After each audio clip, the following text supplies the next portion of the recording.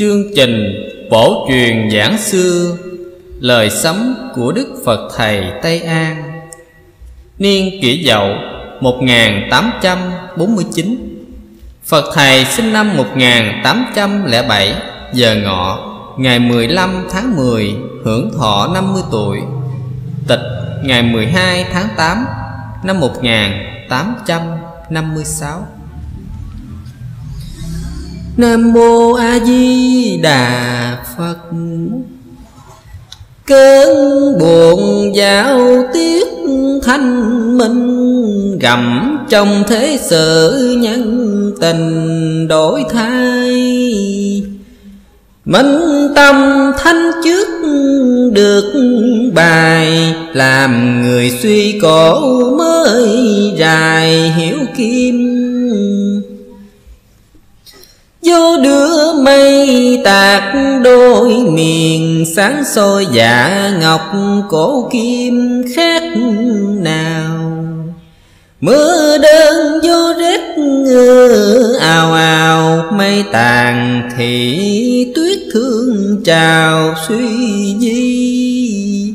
Năm lui năm khỉ bất kỳ Phụng hoàng cất cánh nam nhi rõ lòng. Sông Lan ca lội nước rồng Chẳng nào nước lớn tàu dòng hết dây. Thinh thinh vô lặng về Tây Nhất tàu lấp láng đại mây chập trùng. Nhắc ra nước mắt chảy ròng, Quê còn nhi rụng hết dòng tham ô. Bông chân rạng lặng cơ đồ Quyết tà chỗ xám hùng nô bay đầu. Cơ trời đã đánh về, chiều văn dương mắt nạn thảm sầu lê dân.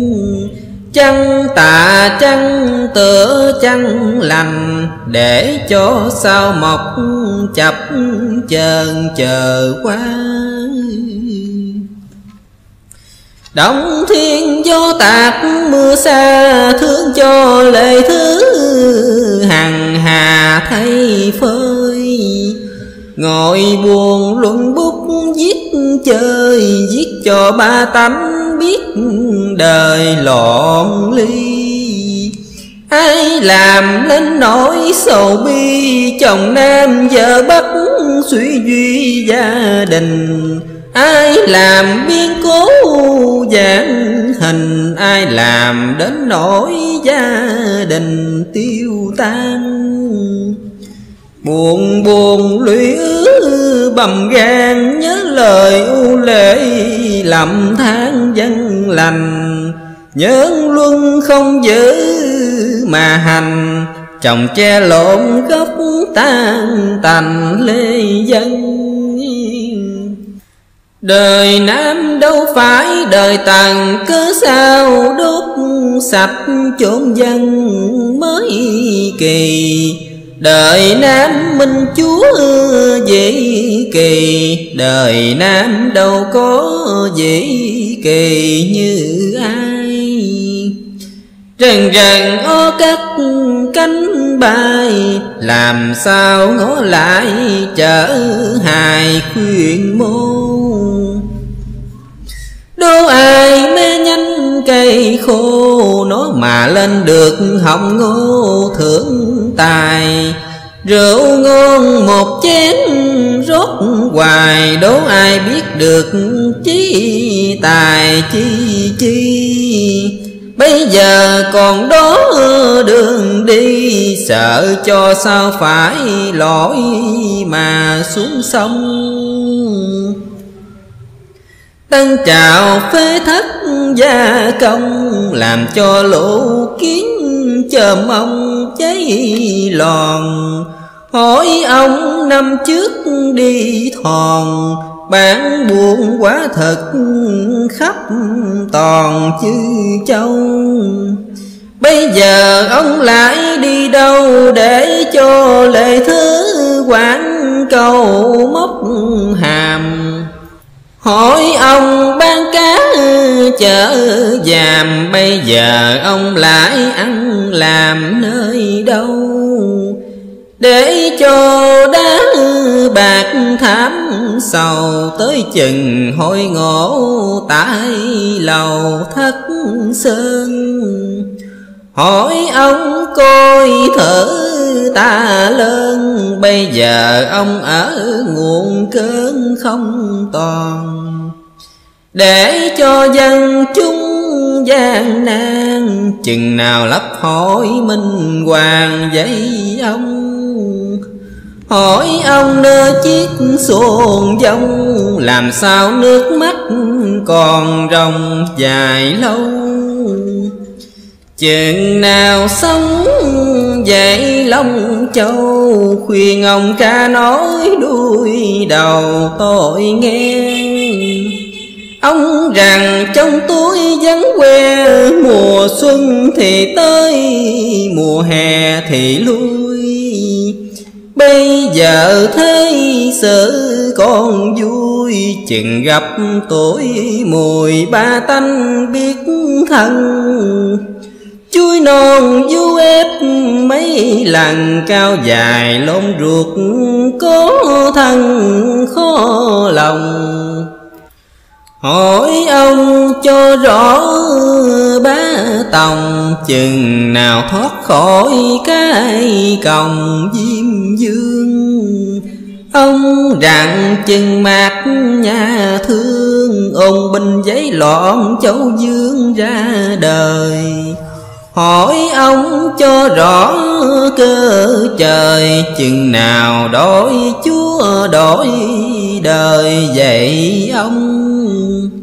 Ông rằng trời đất mênh mông, Chừng nào đủ sức quan công trở về?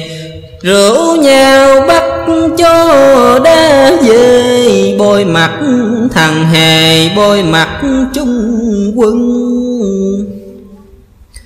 Hỏi ông cho biết giữa chừng chừng nào đỡ mặt dựng dưng hao mòn. Ông rằng chưa lộ chữ son, Hoàng công mới có chính con dưới trần. Chừng nào lập thập nhị hiền thần, Ngồi yên ra mặt âm thầm mới hay. Hỏi ông cho biết vắng dài, Chừng nào nước lớn ông chài ra đây?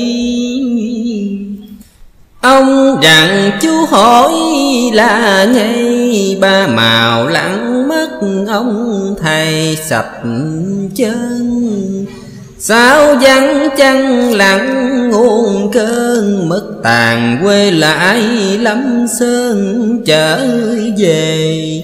Hỏi ông, ông nói linh kê Hai con gà trống nó về con chi? Ông rằng định chế bất kỳ con đinh con kỹ nó đi con đầu. Hỏi ông cho biết cao sâu, Con gà nó gái khúc đầu hay đuôi? Ông rằng chú hỏi cầu vui, Nó gái khúc đuôi ra tới khúc đầu. Hỏi ông cho biết chỗ nào, Con cháu phá cổng làm sao được về? Ông rằng chú thiệt là quê, Châu vàng đụng chó nhà nghề tranh đương. Hỏi ông cho biết kỹ cương, Hai bên quan ải đi đường nào vô. Ông rằng gian cha chết khô, Đường Nam tương chân đi vô bất thần. Hỏi ông cho biết thiệt rành tới đâu trở lại nói rành tôi nghe. Ông rằng thằng ốc chồng mẹ, mùa xuân nó tưới, mùa hè chết khô. Đường Nam có tướng tài mô, Ra đi đường Bắc nó vô xài thành. Hỏi ông một cõi mấy nhành Xin ông nói lại cho rành trước sau. Ông rằng chú hỏi, tầm phào một cây ba nhánh, chỗ nào đâu xa Hỏi ông Đức Phật Thích Ca ở bên Ấn Độ qua đây làm gì? Ông rằng chú hỏi thiệt kỳ, Qua đây giáo đạo vậy thì cho dân. Hỏi ông bơi chiếc xuồng bằng, chừng nào ông xuống chung dân Nam Kỳ? Ông rằng xuồng đó khó đi, Nó ở xuồng máy vậy thì chạy mau. Hỏi ông cho biết chỗ nào tôi bận áo màu, nào có chi không? Ông rằng chú hỏi diễn dòng Sợ sao chú gặp quan công bay đầu? Hỏi ông cho dạ bớt sầu, Chừng nào ông tiểu ôm hầu ra binh. Ông rằng thằng đó không linh, Sợ sao nó phải cua kình rã thay. Hỏi ông cho biết chỗ này, Nam kỳ một sư mấy thầy dạy dân. Ông rằng tiền cứu hậu thân, Cổ nhân có mặt hồn phấn trăm hình. Hỏi ông cho biết tâm tình Nam kỳ ba sư thiên đình định đâu? Ông rằng Nam Bắc một bầu Trước sao trời đỉnh Nam Hầu đế dương Hỏi ông rằng mạc nhà thương Điên gì ứng hiện châu dương ra đời. Ông rằng chú hỏi đổi dời, Kỳ lân phụng gái cơ trời là đây.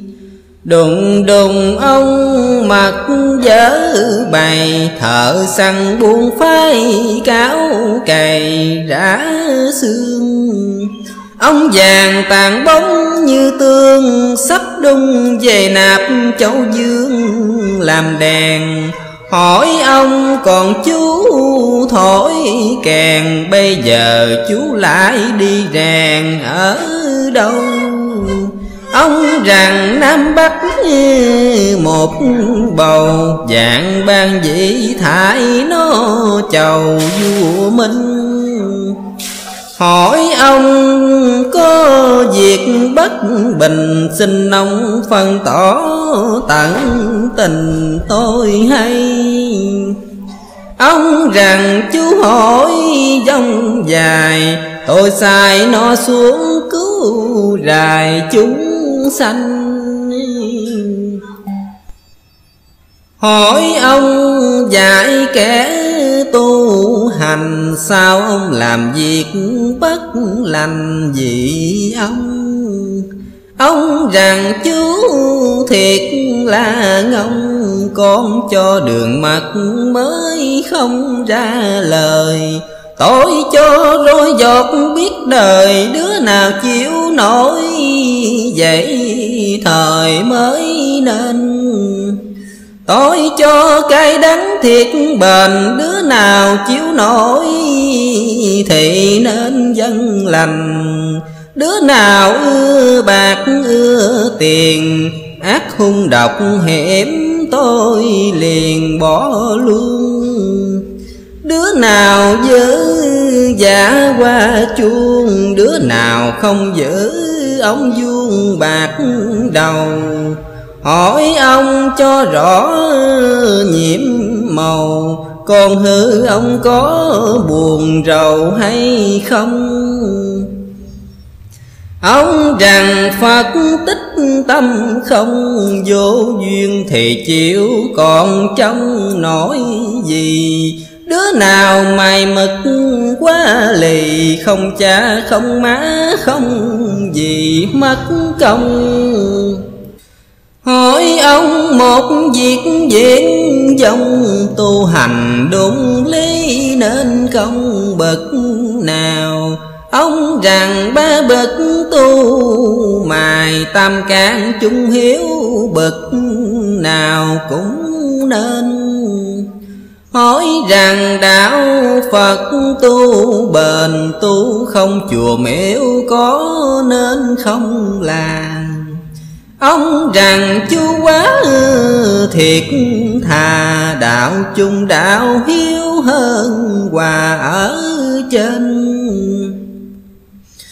Hỏi ông mấy bậc xuống lên, Tại sao Phật Thánh có tên dưới trần Ông rằng ma quỷ rần rần, Ghi danh xưng Phật, xưng thần dối dân.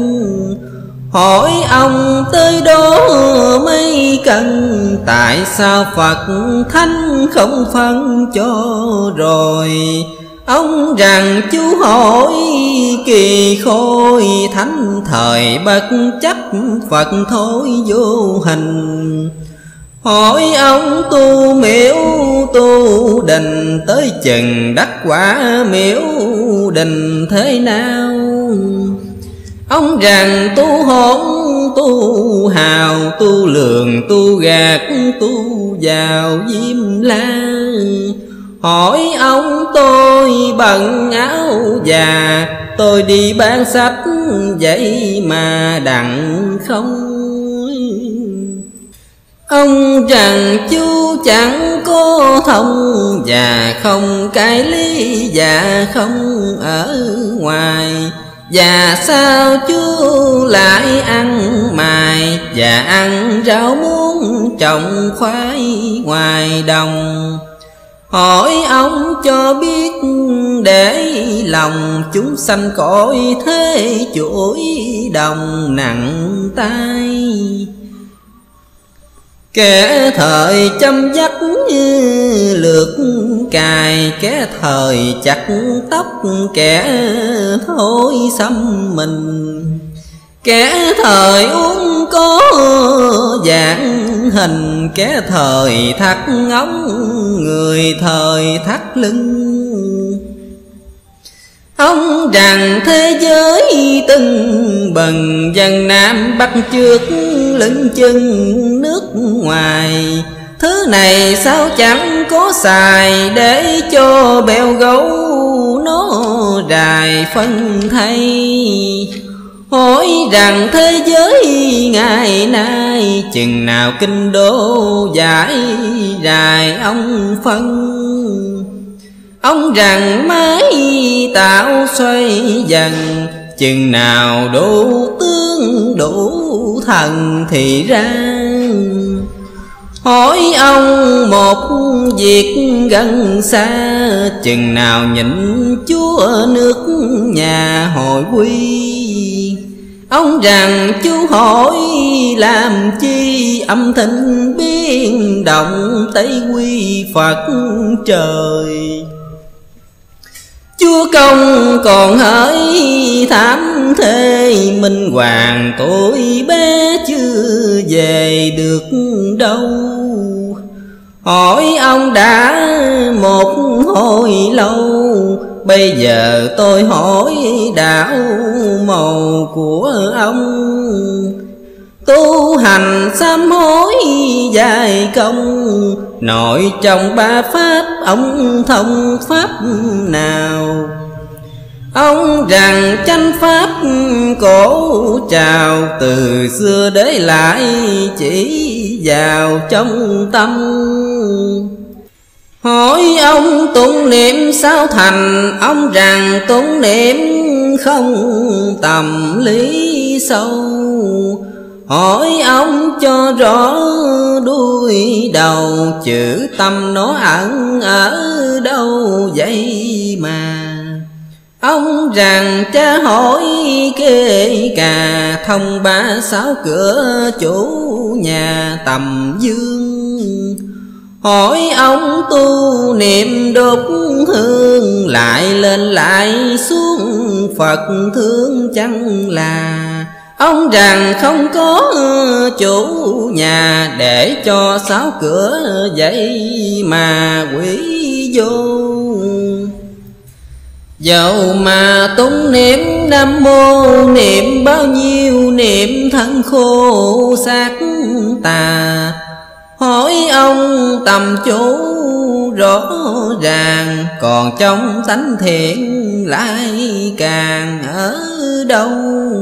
Ông rằng chú hỏi cơ cầu, Tánh thường tánh nhớ, tánh giàu, tánh ăn Tánh nào làm việc nhỏ nhăn, Ấy là tánh quỷ sao căng loạn rồi. Khi đi, khi đứng, khi ngồi, Thành kinh tưởng niệm giai hồi tạng dương. Hỏi ông một việc cho tường, Muốn trừ ngũ quỷ phải nương chỗ nào? Ông rằng bỏ hỗn bỏ hào Bỏ hung bỏ dữ bỏ cào bỏ bươi. Bỏ điều hờn dân khổ người Bỏ điều tham mạc tốt tươi thân mình. Hỏi ông ngủ trượt dáng hình, Chẳng hay năm thứ nó rình ở đâu? Ông rằng nạn trượt đứng đầu Ra thêm khổ não, buồn rầu là đây. Chúng sanh trần thế tạo gây Nếu ai dứt đẳng như thầy khó chi. Hỏi ông trần thế mê ly, Làm sao giữ đẳng vậy thì hỏi ông. Ông rằng tôi cũng khóc ròng, Phật còn mắc nạn, Người không dễ gì. Xa ông một xá tôi đi Trở về trốn khác tôi thì hỏi thăm. Tưng bừng sáng dậy, ầm ầm ông kêu, ông dặn cái tâm ráng trì. Nam mô hai chữ từ bi, Tôi liền trở lại một khi non bồng. Hỏi ông ông đã chập trùng Chẳng hay có biết mặt hồng có đâu. Làm thính tôi cũng buồn rầu Sơn thần lối tiếp ứng hầu lời phân. Nói rằng còn ở am dân Chừng nào tôi giết phong trần sẽ ra. Ông Thanh, ông Tú mặt qua Ông Đô, ông Trắng, ông ra năm nào. Ông ba, ông cả còn ngồi Khiến nên dân chúng lỡ bồi khó toan mến mông mặt nước dậy tràn, Ai mà chồng vít lộn hàng với dâu. Trái đời biển bạc non sông, Thánh quy tại thế quan công phục hồi. Chỗ trần gương bạc than ngôi, Hai mươi mốt tuổi về ngôi yên hùng ra quay lãnh án nguyên nhung, cùng quan đương giá thân chung giúp đời. Nửa sao lấp biển trăng trời, đào nguyên một cẩm được thời xuống lên. Ba mươi sao cửa, một tên người tu đắc lý được lên thiên đàng. Tam can chung hiếu ráng dình thanh Chánh nơi tà quỷ cho mình chánh tâm. Cớ thâm thì quả diệt thâm, Mình làm, mình chịu để làm cho ai. Người khôn nói vắng, biết dài, Người ngu dù nói hết bài, ít chi. Bước đời lòng giả ta khi Cho nên gạt bút gác khi Phật trời.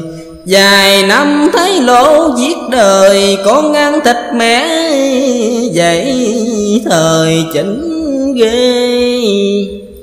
Nhiều điều ứng hiện ê hề, Cha con không kể, chợ quê điêu tiêu tàn. Chừng nào dân gặp hân đàn Thì dân mới hết phàn nàn đắng đo Bây giờ còn mãn cam rô, Ráng tủ bỏ việc ngỗng cò trắng đen. Cứ sao bèo lộn cùng sen Sen cao bèo thấp không chen được nào. Cạn đời xâm xét mưa rào, Không tu để giả đặng về non tiên. Đời này chế kẻ khùng điên, Thấy người sang cả bạc tiền thị mê. Giang phu, dâm phụ ế chề, Không kiên trời Phật khinh chê thánh thần. Ai nên biến loạn cõi trần Trăm sầu ngàn tháng, Mười phần khổ lo. Thanh minh trong tuyết con no, Viết thơ một quyển đặng cho người đời. Nam ban đây lệnh Phật trời, Thiên ân huệ cõi đời đời mới an. Chừng nào mà đáng sửa sang Thì dân Nam quốc mới an thân mình. Cúi đầu giống cao thiên đình, cầu xin nhỏ phước thì bình cho dân. Nam mô a di đà phật. Nguyện giảng xưa của Đức Phật Thầy Tây An Đến đây đã hết. Nam Mô Bổn Sư Thích Ca Mâu Ni Phật.